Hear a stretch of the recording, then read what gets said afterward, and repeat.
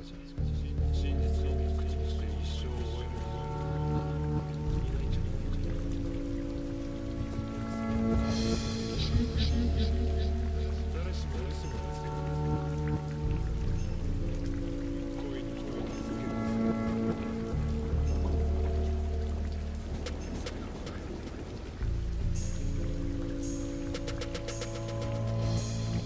Мы приехали на гору, которая называется Тиньшуянь, то есть пик чистой воды.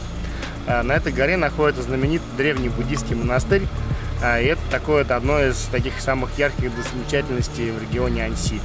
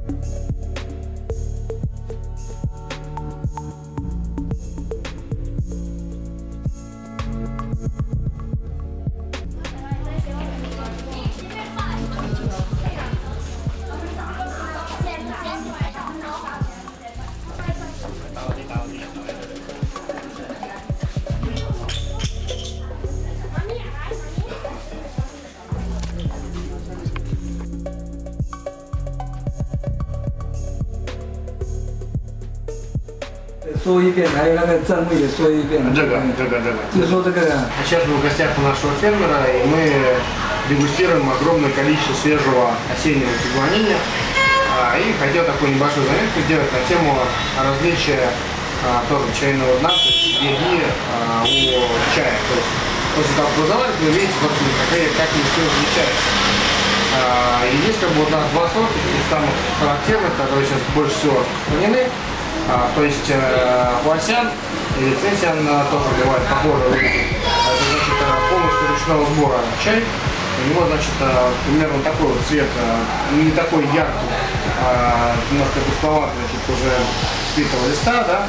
И листик очень маленький, потому что для того, чтобы для его сбора, для литрового сборами гораздо меньше, поэтому лист собирают обычно более мелкий. Вот. А здесь, значит, у меня в руке другой лист, значит, уже Росан Тигуанин, то есть, э, который делается немножко дольше времени.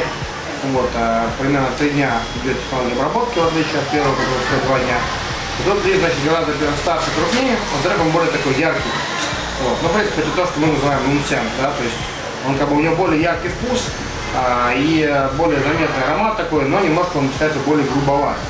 И, в принципе, вот как местные жители, все больше любят как раз вот такой, казалось бы, не такой яркий и более тусклый вот этот вот э, Вася. Вот, э, в то время как, э, конечно, для человека, который не очень понимает, все-таки Нунсян, он более понятен и более, скажем, кажется вкусным и ярким в начале. Но потом, когда ты все больше и больше пьешь тигуанин, понимаешь, что как бы вот у этого Хвасяна на самом деле есть очень тонкая нота, которая просто не сразу удается распробовать.